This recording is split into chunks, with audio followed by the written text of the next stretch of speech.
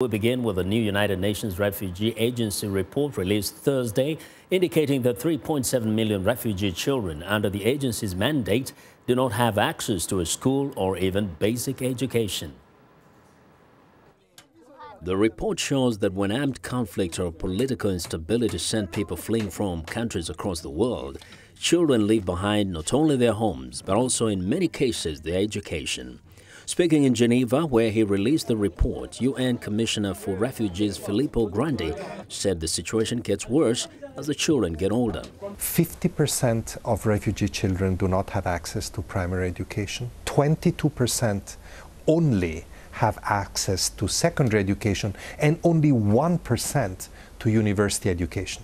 This is an area, fundamental area, in which, of course, the, the, the condition, the status of being refugees shows um, how penalizing it is for young women and men. Grandi says that, of course, food, water, and shelter are the priorities for refugees, but when education is neglected, hope and despair tend to take over.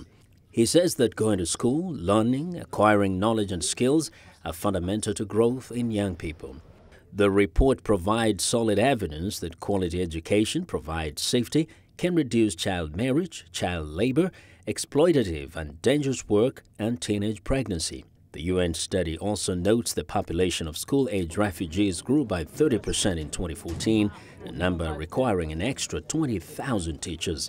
Host nations that in many cases already struggle to provide basic services to refugees must also find a place to hold classes as well as supplies. The World Body has asked global donors for $4.5 billion this year to aid Syrian refugees. Funding for education makes up $662 million of that request, and as of June, the UN had collected only 39% of that total. In 2015, the same program saw most of the education funding arrive in the final two months of the year, which the UN said hurt the ability of host countries to make effective long-term plans for schooling.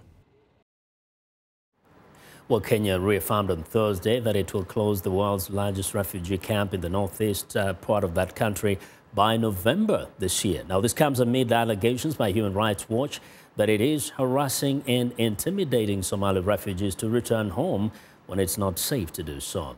Now, the rights group says Kenya is not giving the refugees a real choice between being repatriated or staying, and that the United Nations Refugee Agency is not giving refugees accurate information about the risks they face in Somalia. A spokesman for UNHCR in Kenya says the agency would have to study the Human Rights Watch report before responding. Kenya says Al-Shabaab has used the camp as a recruiting ground for its attacks. Kenya softened uh, its stance in June following an outcry from rights groups who said much of Somalia was not yet safe for return.